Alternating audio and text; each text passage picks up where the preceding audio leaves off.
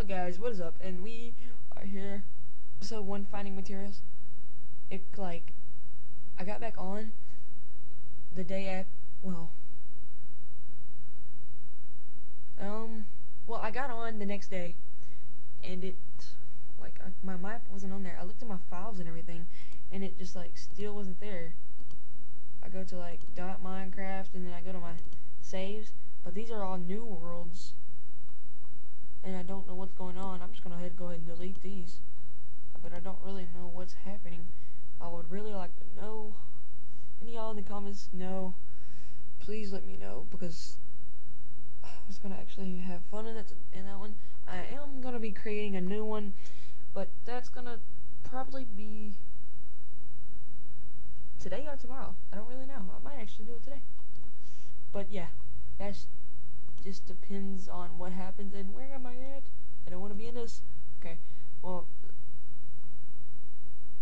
I have seen some comments on my last video, which I'm gonna delete, on where to like where to download Minecraft. It's really simple, guys. All you type in, well, I go to www.minecraft.net.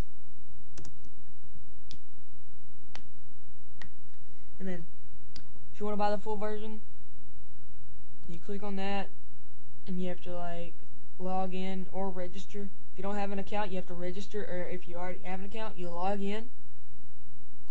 Because if you logged in,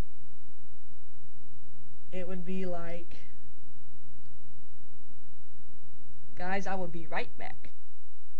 If you logged in and you bought it, it would be like this it would just say download now.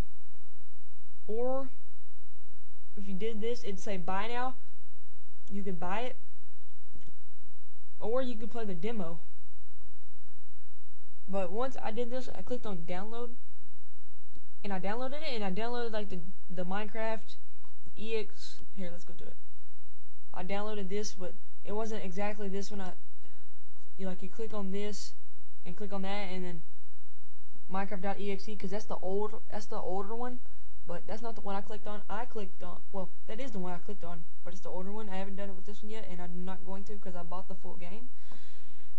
So yeah, another people like this is how you download. Um, this is how you download Minecraft, like regular Minecraft. Now, people people have also been asking me how to download Feed the Beasts. So you go to www.feed.